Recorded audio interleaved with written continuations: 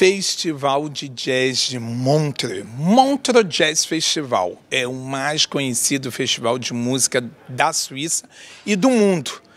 Tem lugar anualmente durante o início do mês de julho em Montreux, às margens do Lago Le Mans. A partir da década de 1970, passou a incorporar gêneros musicais como blues, soul e rock, além da música brasileira cresceu consideravelmente durante a década de 1980 e, apesar de continuar dando destaque ao jazz, ampliou ainda mais sua variedade de gêneros, estrelando diversos artistas de pop rock.